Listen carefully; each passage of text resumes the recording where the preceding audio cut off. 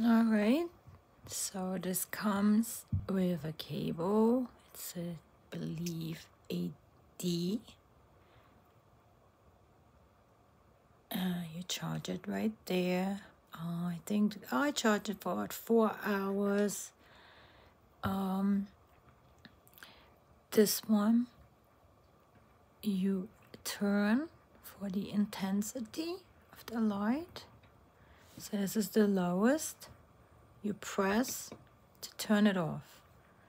Press again, turn it on, and then dial up the intensity. It goes very bright and it's completely portable. It's really not heavy and uh, I sometimes just pick it up and take it with me where I know I need a little bit more light.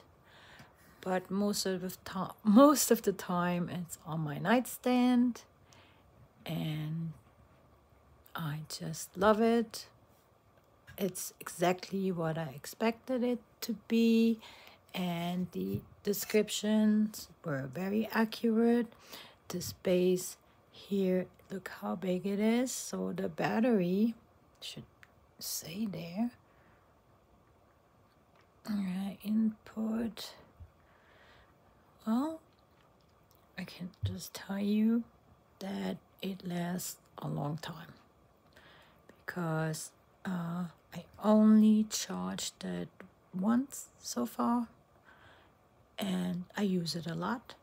Of course I don't let it on uh, leave it on all night. When I'm done with what I'm doing, I turn it off and put it on the side so my cat doesn't knock it over, even though it's kind of hard to knock over.